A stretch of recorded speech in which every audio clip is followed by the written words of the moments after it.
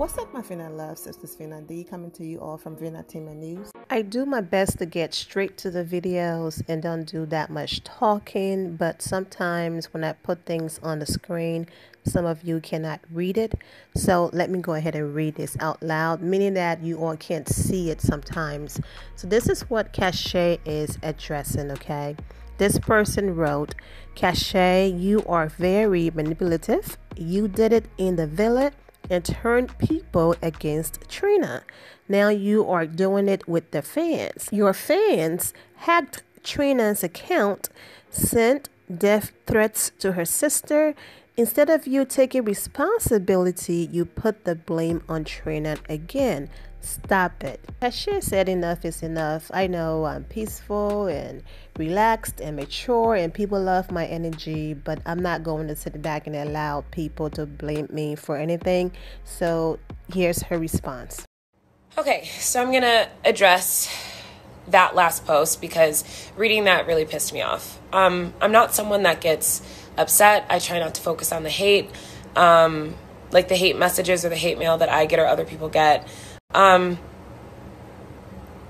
I didn't know about the death threats that Trina's family was getting. I didn't know that her account was hacked. I support Trina. I've supported her publicly. I've supported her in that villa. Her and I are very close. I don't think I'm putting any blame on Trina because I wouldn't, because there's no blame to put on her. There's no blame to put on me. Her and I are two women that fell for the same guy and navigated that in a mature, understanding, beautiful way because of the respect that we have for each other. What I will say is, and what I have said, is that I don't like the hate that supporters that support me give her and the supporters that support her give me because that's unnecessary.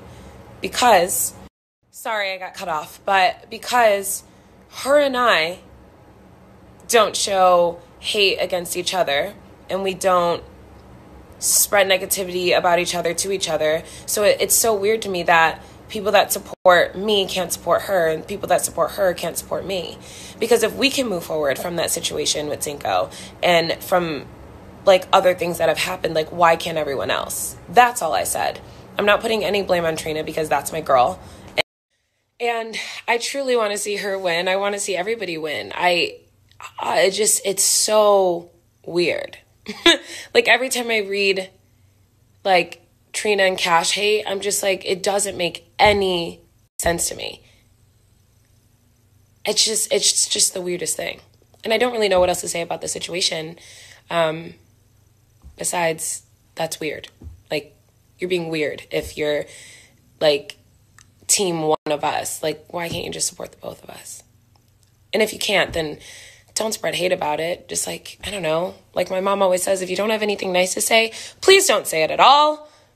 I'm just a girl trying to live her life and they're just trying to live theirs. And come on, like, what the? I don't even know what else to say about this. Um, yeah, but I'm not spreading negativity on her because I love her. And I'm sure I'm going to be obsessed with her family. Like, I just don't, I don't understand. Please stop. It's weird. Here, my Vina loves. Thank you all for your love and support.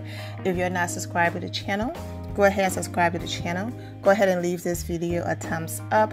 Also turn on notifications so when I do post you aware where I posted and I will see you all in the comment section. Remember to always have the God bless attitude, which is being positive at all times and seeing the good in every situation. Have a great day, guys. God bless.